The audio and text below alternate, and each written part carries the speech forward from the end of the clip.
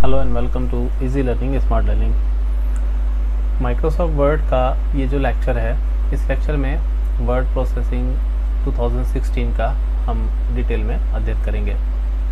इस लेक्चर में मैं आपको ये बताऊँगा कि सॉफ्टवेयर वर्ड प्रोसेसिंग के लिए अगर आप गूगल करेंगे मोस्ट पॉपुलर सॉफ्टवेयर तो वर्ल्ड का सबसे मोस्ट पॉपुलर सॉफ्टवेयर होता है वर्ड इसे आज की तारीख में वर्ड बोला जाता है। पहले से माइक्रोसॉफ्ट वर्ड और वर्ड प्रोसेसिंग के लिए सबसे फ़ेमस सॉफ्टवेयर यही बनाया गया है। एक ऐसा एप्लीकेशन प्रोग्राम है, जिसके थ्रू आप बहुत सारे प्रकार के डॉक्यूमेंट्स को क्रिएट कर सकते हैं। जैसे कि लेटर्स हैं फ्लायर्स हैं और रिपोर्ट्स हैं।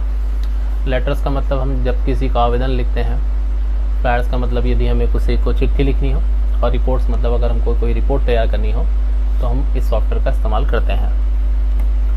ये बात हमें बहुत अच्छे से मालूम होनी चाहिए कि वर्ड प्रोसेसिंग का कोई भी वर्जन हो, चाहे 365 ऑफ़िस आप यूज़ करें, या गूगल का डॉक्स आप यूज़ करें, या फिर आप वर्ड प्रोसेसिंग के लिए कोई भी सॉफ्टवेयर इस्तेमाल करें, सभी की वर्किंग लगभग एक जैसी होती है। फ़र्क केवल इतना होता है कि जो फ़ाइल फॉर्मेट है, वो केवल डिफ़र होता है। अब यहाँ पे फ़ाइल फॉर्मेट क्या होता है, ये भी आप समझ लें।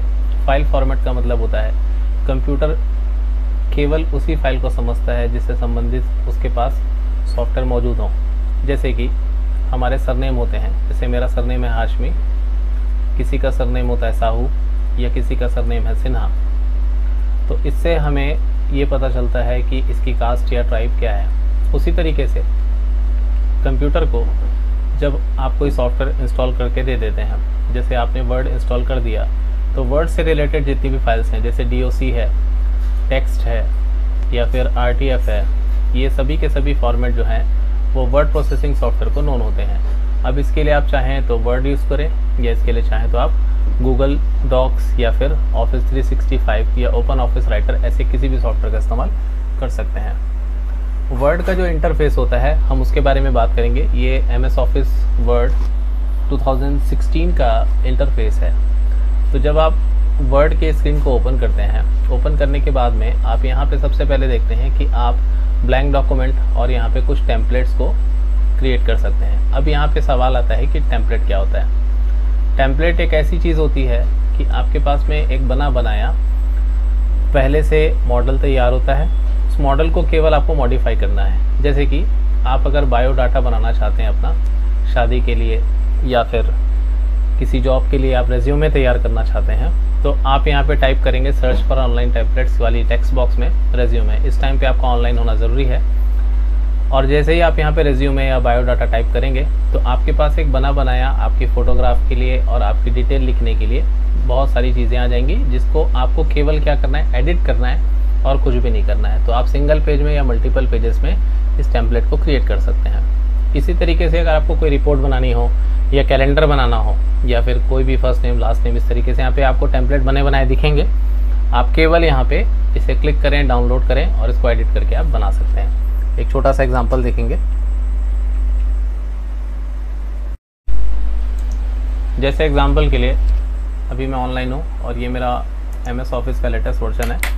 अब यदि मैं इसमें डालता हूँ, मान लीजिए बायोडाटा बायोडाटा से रिलेटेड जितने भी यहाँ पे टेम्पलेट हैं, वो मुझे दिखाई देंगे। अब बायोडाटा से रिलेटेड मेरे पास में कोई भी टेम्पलेट यहाँ पे मौजूद नहीं है तो मैं यहाँ पे टाइप करता हूँ रेज्यूम है रेज्यूम आप बोल सकते हैं रेज्यूम में बोल सकते हैं। तो देखिए, यहाँ पे मानसी गोयल नाम का एक हमारे पास में बायोडाटा आ गया। इस बायोडाटा में मुझे क्लिक करना है। क्रिएट में क्लिक करना है। क्रिएट में क्लिक करने के बाद आप इसे चेंज करके अपनी फ़ोटो चेंज कर लीजिए।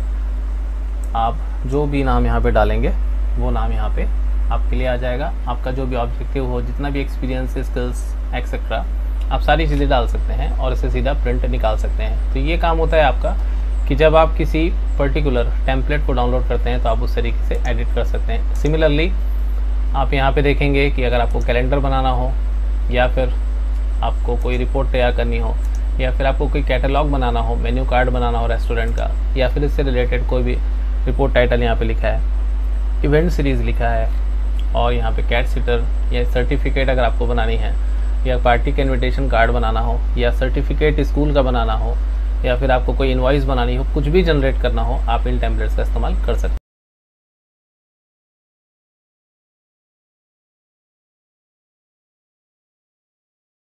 फिर आता है आपका ब्लैंक पेज ओवरव्यू अगर आप किसी ब्लैंक पेज में सिलेक्शन करते हैं तो आपके पास में इसमें मार्जिनस होती हैं।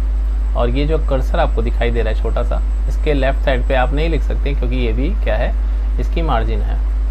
तो जब आप वर्ड ऑफ़िस सॉफ्टवेयर का इस्तेमाल करते हैं तो आपके पास में चार तरह की मार्जिन अवेलेबल होती है। लेफ़्ट राइट टॉप और बॉटम इस स्थान पे आप लिख नहीं सकते, लेकिन आप इसका इस्तेमाल किसी दूसरी चीज़ के लिए, जैसे कि पेज नंबर हो गया, आपका टाइटल हो गया, या कवर का जो भी आपका नाम लिखना है। जैसे आप किताबों में देखे होंगे कि ऊपर टॉप में जो भी चीज़ें लिखी रहती हैं डेट लिखी रहती है इस तरीके की डिटेल आप यहाँ पे पुट कर सकते हैं। इसके बाद में हम आते हैं रिबन की तरफ़। रिबन का मतलब होता है कि ये जो एरिया आपको दिखाई दे रहा है, इसे हम कहते हैं रिबन। रिबन इसे इसलिए कहा जाता है कि रिबन जिससे हम चोटी बांधते हैं, इसी तरीके या फिर कार को सजाते हैं या किसी गुलदस्ते को सजाते हैं, उसी तरीके से ये एम एस ऑफ़िस का रिबन है। पहले इसे मेन्यू के रूप में दिया जाता था। मेन्यू का मतलब आपके पास में पहले ड्रॉप डाउन मेन्यू आया करता था, लेकिन अब इसमें आइकन्स बना दिए गए हैं छोटे छोटे और सभी कमांड्स को कैटेगराइज कर दिया गया है। जैसे कि आप यहाँ पे देख सकते हैं होम है इंसर्ट है डिज़ाइन है। तो इन सभी चीज़ों की लिस्ट यहाँ पे आपको मिल जाएगी। इसके बाद में रिबन में जितने भी टैब्स हैं, जैसे कि होम टैब है, इससे आपको क्या मिलता है कि आप जितने मोस्ट कॉमनली यूज़ कमांड्स हैं, जैसे कि आपको मान लीजिए कट कॉपी पेस्ट करना है तो यहाँ पे कट है कॉपी है पेस्ट है। आपको फॉन्ट साइज़ चेंज करना है, या फिर आपको नंबरिंग करनी है बुलेटेड नंबरिंग या फिर आपको अपने पैराग्राफ की स्टाइल बनानी है। इससे रिलेटेड किसी भी चीज़ों को आप बनाने के लिए होम टैब का इस्तेमाल कर सकते हैं। इसके बाद में होम टैब के बाद में आपका आता है इंसर्ट टैब इंसर्ट टैब का मतलब ये है कि यदि आप किसी चीज़ को इंसर्ट करना चाहते हैं फॉर एग्ज़ाम्पल कवर पेज हो गया ब्लैंक पेज हो गया पेज ब्रेक हो गया, टेबल हो गया, पिक्चर्स हो गए, इन सभी चीज़ों में से किसी भी एक चीज़ को अगर आप इंसर्ट करना चाहते हैं या मल्टीपल चीज़ों को इंसर्ट करना चाहते हैं तो आप इंसर्ट टैब का यूज़ कर सकते हैं। फिर आपका आता है डिज़ाइन टैब डिज़ाइन टैब से आप अपने पर्टिकुलर डॉक्यूमेंट का डिज़ाइन को डिसाइड कर सकते हैं। इसके लिए हम एक एग्ज़ाम्पल देखेंगे। जैसे मैंने यहाँ पे वर्ड को ओपन किया हुआ है। तो जैसे मैंने यहाँ पे वर्ड को ओपन किया हुआ है अब देखेंगे, अगर मैं डिज़ाइन में जाऊँगा तो मेरे को यहाँ पे डिफरेंट डिज़ाइंस मिलेंगी। ये डिज़ाइन एक्चुअली में डिज़ाइन टेम्पलेट्स होते हैं कि अगर मैं अब यहाँ पे टाइटल टाइप करूँ, जैसे मैं यहाँ पे टाइप करता हूँ कंप्यूटर और टाइप करता हूँ सपोज़ कंप्यूटर की definition a computer is an electronic device अब देखेंगे आप यहाँ पे कि अगर मैं इसको ऑल सेलेक्ट करके किसी भी एक पर्टिकुलर डिज़ाइन में सिलेक्शन करता हूँ, ठीक है? तो ये इसके हिसाब से मुझे अलग अलग प्रीव्यू दिखाता है। तो ये होता है आपका, अगर आपको कलर चूज़ करना हो या कोई भी ऐसी चीज़ चूज़ करनी हो तो आप यहाँ पे डिज़ाइन टेम्पलेट का इस्तेमाल कर सकते हैं। जिस तरीके से हम वहाँ पे वर्ड के पूरे डॉक्यूमेंट का टेम्पलेट डिज़ाइन करते हैं, वैसे ही आप यहाँ पे इसका डिज़ाइन का टेम्पलेट भी डिसाइड कर सकते हैं। यहाँ पे थीम्स आप चुन सकते हैं कि किस तरीके आपको थीम बनानी है। इसमें आपका फॉन्ट जो है हेडिंग स्टाइल टाइटल स्टाइल जब एक पर्टिकुलर डॉक्यूमेंट कंप्लीटेड हो आपके पास में तो आप उसको पूरा चेंज करने के लिए इसका इस्तेमाल कर सकते हैं। फिर आपका आता है, इसके बाद आपका आता है लेआउट टैब लेआउट टैब का मतलब होता है जिससे आप अपने पर्टिकुलर डॉक्यूमेंट का लेआउट को डिसाइड कर सकते हैं। जो आपका पेज है, जिस तरीके से आप प्रिंट करेंगे। फॉर एग्जांपल आप यहाँ पे चाहें तो मार्जिन सेट कर सकते हैं। इसका ओरिएंटेशन लैंडस्केप है, या पोर्ट्रेट है, या पेपर की साइज़ आपको डिसाइड करनी हो। नंबर ऑफ़ कॉलम्स डिसाइड करना हो, कितने पेज ब्रेक्स हैं, कितने लाइन नंबर्स हैं हाइफनेशन है इंडेंटेशन है स्पेसिंग है, ये सारी चीज़ें आपकी लेआउट से डिसाइड होती हैं। इसके बाद में आता है आपका रेफरेंसेस टैब ये जो स्कॉलर्स होते हैं रिसर्च स्कॉलर्स होते हैं, उनके लिए सबसे बेहतरीन टैब होता है रेफरेंसेस टैब रेफरेंसेस टैब के थ्रू आप यदि मान लीजिए कोई बुक लिखे हैं और बुक का आपको इंडेक्स बनाना हो तो आप टेबल ऑफ़ कंटेंट्स से जाके इसे देख सकते हैं। इसके लिए आप मेरे वर्ड वाली प्लेलिस्ट में जाके रेफरेंसेस टैब का वीडियो ज़रूर देखें। यूट्यूब में आपको मेरे चैनल पे मिल जाएगा। इसमें आपको डिटेल में रेफरेंसेस टैब के बारे में जानकारी मिलेगी। इन शॉर्ट रेफरेंसेस टैब से आप एक पर्टिकुलर पूरा का पूरा बुक बना सकते हैं। आपको केवल एडिटिंग करनी है। एडिटिंग करने के बाद बाकी सारा काम आपको वर्ड पे छोड़ देना है। इसके लिए बहुत अच्छी ट्रेनिंग आपको मिल जाएगी मेरे चैनल पे। मेलिंग्स टैब जो होता है, ये आपको ईमेल करने के लिए या पर्टिकुलर एनवलप्स में प्रिंटिंग करने के लिए या लेबल्स बनाने के लिए, जैसे हम नेम प्लेट जिसे बोलते हैं, जिसमें हम नाम लिखते हैं, इस तरीके की चीज़ों को बनाने के लिए मेलमर्स का इस्तेमाल किया जाता है। इसमें सबसे पहले एक छोटा सा डेटाबेस क्रिएट किया जाता है, जिसमें आप सभी नाम लिख लें। इन डेटाबेस को इंपोर्ट करने के बाद में आप डॉक्यूमेंट में लेके आते हैं और इससे पूरी सेटिंग होती है इसकी, इस पर्टिकुलर मेलिंग टैब से और यहाँ से आप जाके मेलिंग टैब को देख सकते हैं। फिर आता है आपका रिव्यू टैब रिव्यू टैब जो है it is connected with references tab जो आपने पहले रेफरेंसेस टैब बनाया था अब यदि आप अपने डॉक्यूमेंट को चेक करना चाहते हैं कि इसकी स्पेलिंग और ग्रामर सही है कि नहीं, और इसके कितने वर्ड काउंट हैं, और अगर आप इस डॉक्यूमेंट को पढ़ के मतलब आप सुनना चाहते हैं तो आप अगर रीड अलाउड में क्लिक करेंगे तो ये आपको पूरा, आपके स्पीकर में जो भी आपको होम थिएटर उसमें सुनाई देगा। इसकी एक्सेसिबिलिटी अगर आपने पासवर्ड दिया है, इसको ट्रांसलेशन करना हो, कोई लैंग्वेज में कन्वर्ट करना हो, कोई कमेंट ऐड करना हो, इस तरीके की चीज़ों को डालने के लिए आप रिव्यू टैब का इस्तेमाल करते हैं। इसके बाद में आता है आपका व्यू टैब और ये लगभग सेकंड लास्ट या लास्ट टैब आप उसको बोल सकते हैं, क्योंकि इसके बाद में तो सिर्फ़ हेल्प बचता है। तो व्यू टैब से क्या होता है कि आप अलग अलग जो डॉक्यूमेंट अगर आपने मान लीजिए मल्टीपल डॉक्यूमेंट्स क्रिएट करके रखा हुआ है, एक टाइम पे इन सभी को ओपन किया हुआ है, और इसमें से अगर आप स्विचिंग करना चाहते हैं तो आप इससे स्विच कर सकते हैं। आप इससे डिफरेंट लेआउट्स देख सकते हैं अपने डॉक्यूमेंट के, जैसे रीड मोड है प्रिंट लेआउट है वेब लेआउट है। इसके मैं आगे आपको एग्जांपल दिखाऊँगा कि जैसे व्यू के अंदर में व्यू के बाद में एक फॉर्मेट टैब भी है यहाँ पे। फॉर्मेट टैब में क्या करते हैं आप इसमें फॉर्मेटिंग कर सकते हैं जैसे आप इंसर्ट टैब से इसको थोड़ा सा सिमिलर देखेंगे। तो यहाँ पे आपको जितने भी डिफरेंट काइंड्स ऑफ़ शेप्स हैं, ये आप इंसर्ट कर सकते हैं। अब इसके बाद में आता है quick access tool bar word का जो क्विक एक्सेस टूल बार होता है, इसके थ्रू आप क्या कर सकते हैं, आप अगर कोई अपना खुद का ऐड करना चाहते हैं यहाँ पे, जैसे आप ऊपर में देखा होगा अभी तक आपने ध्यान दिया होगा कि यहाँ पे अभी कुछ भी नहीं था, लेकिन अगर आप कोई particular quick access tool bar को यहाँ पे ऐड करना चाहते हैं, जैसे स्पेलिंग एंड ग्रामर का आपको रेगुलर इस्तेमाल करना हो तो आप स्पेलिंग एंड ग्रामर को यहाँ से इस तरीके से आप यहाँ पे क्लिक करें और स्पेलिंग ग्रामर में टिक करें। तो ये जो स्पेलिंग एंड ग्रामर का आपका टूल बार है, ये आ जाएगा। इसे हम क्या बोलते हैं? क्यू ए टी या क्विक एक्सेस टूल बार इसके बाद में आता है रूलर वर्ड में रूलर भी होता है, जिसके थ्रू आप अपने वर्ड के साइज़ का लेफ़्ट से या टॉप से आप अपना साइज़ देख सकते हैं। जैसे यहाँ से आप देखेंगे कि इतना एक इंच है। इसका मतलब ये है कि अगर मैं यहाँ पे लिखता हूँ अपना नाम तो मेरा नाम जो है लगभग एक इंच से कम जगह में आ गया और यहाँ से आप देखेंगे हाफ़ इंच के आसपास में मुझे जगह लगी। तो आप इस प्रकार से फॉन्ट के पॉइंट्स के हिसाब से अपना डिसीज़न ले सकते हैं। रूलर में ये भी है कि अगर आप रूलर को ऑन या ऑफ़ करना चाहते हैं तो व्यू और टैब में जाके यहाँ से रूलर में देखें और इसे ऑन या ऑफ़ कर सकते हैं। फिर आता है आपका डॉक्यूमेंट के व्यूज़ में डिटेलिंग कि इसमें रीड मोड प्रिंट मोड और वेब मोड ये तीनों मोड आपको नीचे स्टेटस बार में भी दिखाई देते हैं। इसमें आप अगर रीड मोड में जाएँगे तो आप केवल डॉक्यूमेंट को पढ़ पाएँगे और अगर आप यहाँ पे प्ले बटन दबाएँगे तो ये आपको पढ़ के भी सुनाएगा।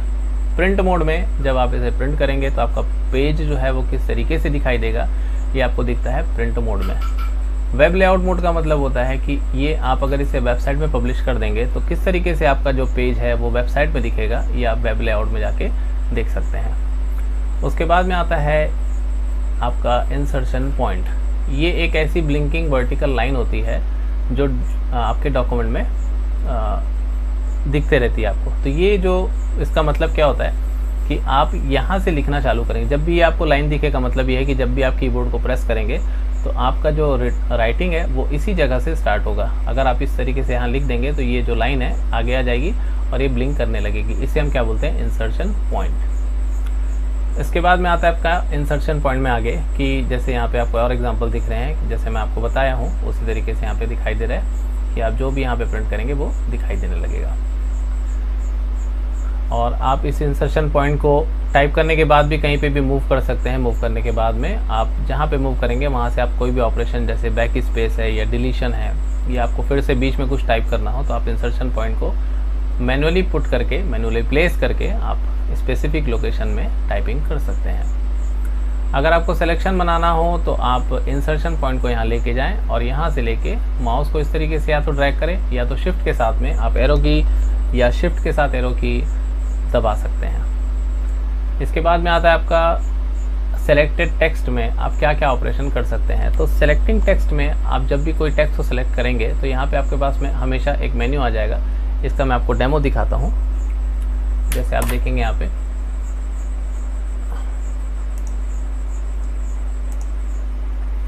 कि अगर मैं यहाँ पे सिलेक्शन करता हूँ तो ये एक मेन्यू यहाँ पे आ जा रहा है। ये थोड़ा सा और एडवांस वर्जन है 2016 से। तो आप यहाँ से इसे बोल्ड करना या इसका साइज़ बढ़ाना आप इस तरीके से चेंज कर सकते हैं। तो ये है आपका सेलेक्टिंग टेक्स्ट में आगे कि कॉपी पेस्ट करना बहुत आसान काम होता है। आप किसी भी टेक्स्ट को सबसे पहले सेलेक्ट करें कॉपी करें। ये कॉपी का छोटा सा आइकन बना हुआ है। या तो फिर आप कीबोर्ड से कंट्रोल सी दबाएँ और पेस्ट करने के लिए या तो इस आइकन पे क्लिक करें या तो फिर कंट्रोल वी दबाएँ। मल्टीपल टाइम्स आप पेस्ट कर सकते हैं, एक बार कॉपी करने के बाद या एक बार कट करने के बाद। कट करेंगे अगर तो वो चीज़ वहाँ से हट जाएगी कॉपी करेंगे अगर तो वो चीज़ वहाँ पे एग्जिस्ट करेगी। तो जैसे कॉपी पेस्ट टेक्स्ट है और आप इसको अगर पेस्ट करना चाहते हैं तो इस तरीके से पेस्ट कर सकते हैं कट करने से वो चीज़ हट जाएगी, हमें पता है। इसके बाद में आपका आता है कि फ़ॉन्ट कैसे चेंज करते हैं तो फ़ॉन्ट चेंज करना है आपको। अगर तो फ़ॉन्ट डायलॉग बॉक्स में जाके आप इसके फ़ॉन्ट को चेंज कर सकते हैं। इसमें से आप कोई भी एक नाम चुन लीजिए, आपका काम हो जाएगा। देन आता है आपका चेंजिंग फॉन्ट साइज़ तो फॉन्ट साइज़ यहाँ से चेंज होता है। ये फॉन्ट का साइज़ जो है, ये पॉइंट्स में होता है। एक इंच में लगभग 300 पॉइंट्स होते हैं। तो ये जो पॉइंट्स हैं, इससे मिला के हमारा बनता है एक पर्टिकुलर कैरेक्टर फॉन्ट साइज़ को चेंज करने के बाद में आता है फॉन्ट का कलर तो अगर आपको कलर चेंज करना हो, आपकी लिखावट का, आपकी लिपि का तो आप यहाँ से कलर को टेक्स्ट का कलर को यहाँ से चेंज करते हैं। टेक्स्ट के बैकग्राउंड कलर को यहाँ से चेंज करते हैं। और अगर आपको आउटलाइन बनाना हो या इसका साइज़ चेंज करना हो तो इस पूरे के पूरे को आप यहाँ से इंक्रीज़ ये अप एरो से इंक्रीज़ या डाउन एरो से डिक्रीज़ कर सकते हैं। लाइक like दिस इसके बाद में आता है टेक्स्ट का अलाइनमेंट टेक्स्ट के अलाइनमेंट चार तरीके के होते हैं. लेफ़्ट सेंटर राइट और जस्टिफाई तो लेफ़्ट करने का मतलब आपका जो टेक्स्ट है, वो लेफ़्ट अलाइन होगा राइट से राइट अलाइन हो जाएगा सेंटर से सेंटर में आएगा और जस्टिफाइड का मतलब दोनों साइड से बराबर हो जाएगा। मतलब लेफ़्ट से और राइट से ये बराबर रहेगा। पेज का ओरिएंटेशन का मतलब होता है कि आप इसमें पोर्ट्रेट या लैंडस्केप मतलब आपका पेज जो है वो खड़ा रहेगा या फिर आड़ा रहेगा, ये आप डिसाइड कर सकते हैं। साइज़ में आपको डिफरेंट साइजेस दिखेंगे। तो इस तरीके से वर्ड का इंट्रोडक्शन यहाँ पे समाप्त होता है। उम्मीद है लेक्चर आपको पसंद आया होगा। यदि पसंद आया हो और आपका अगर कोई सवाल हो तो हमें कमेंट बॉक्स में ज़रूर बताएँ। चैनल को सब्सक्राइब करना ना भूलें, इस वीडियो को शेयर करना ना भूलें और ऐसे ही इंटरेस्टिंग वीडियो देखने के लिए हमारे चैनल को देखते रहिए। Thank you very much see on the next video